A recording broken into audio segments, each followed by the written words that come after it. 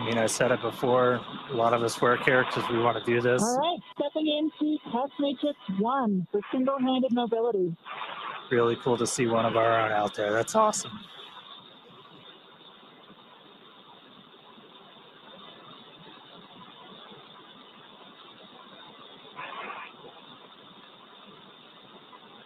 And EV2 for awareness, we're watching from the nose cone.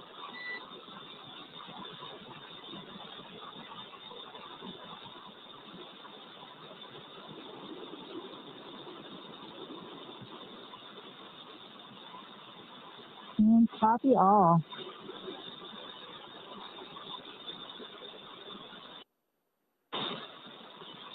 I would say in all three translational axes, I'm having certainly cross-coupled movements